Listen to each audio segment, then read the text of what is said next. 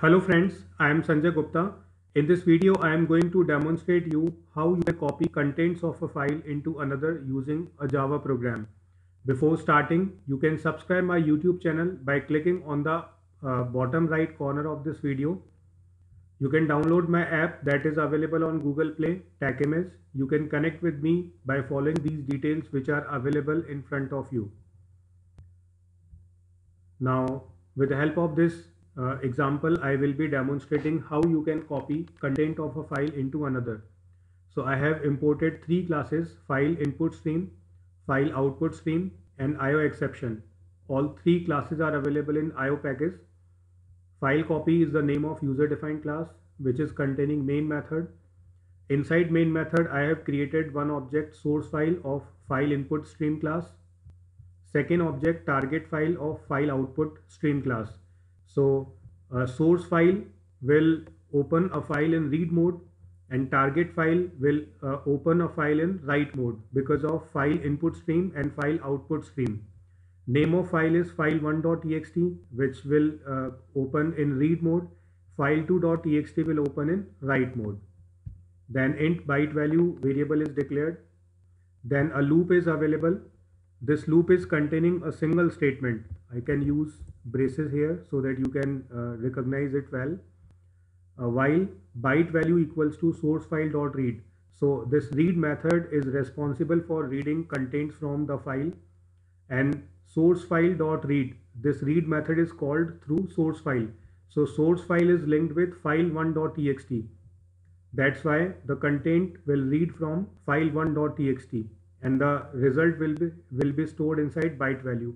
So if a particular value will be read properly, then this condition will be true. It will not be equals to minus 1.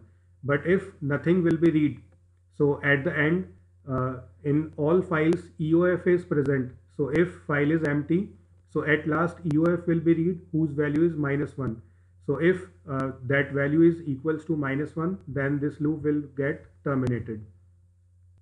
So if contents are available, then loop will repeat, otherwise loop will be terminated.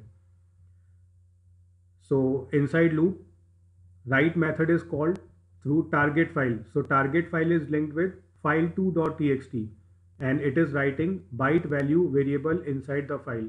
It means read method is reading contents from file 1.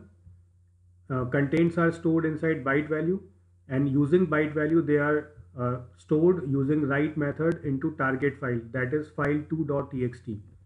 So in short, file 1 contains are copying into file 2 uh, file. Then after completion of loop, source file and target file objects are closed. Then a message file copied successfully will be displayed on console. All these statements are uh, enclosed inside try block so that if any exception is raised that will be uh, handled by the catch block. Uh, all uh, exception will be handled by this E reference which is of IO exception class and then with the help of toString method all the error messages will be displayed on console.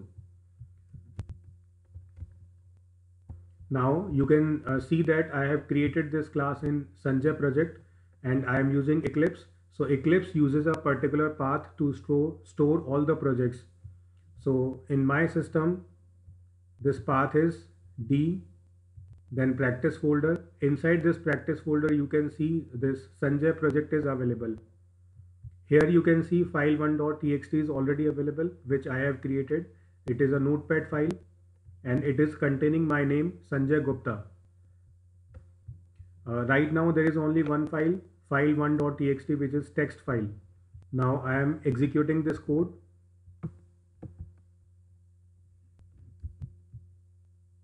you can see that file copied successfully message is displayed on console. Now we have to check the folder or project.